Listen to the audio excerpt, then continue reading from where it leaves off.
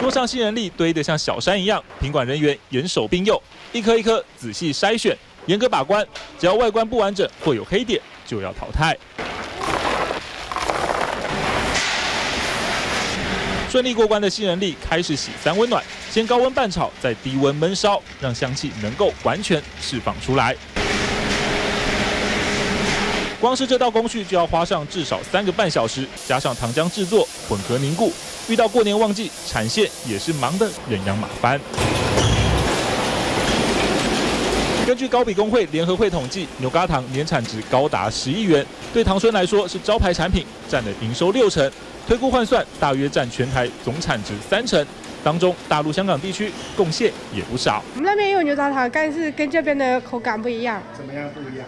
那我们那边那个要粘牙些，然后没有这边那个香。唐村牛轧糖标榜台发混血，跟传统相比，口感较软，口味多元。还没进军大陆前，大多是台商当成伴手礼带过去，开始受到注意，甚至成为艺人赵又廷、高圆圆指定喜糖，在两岸知名度大开。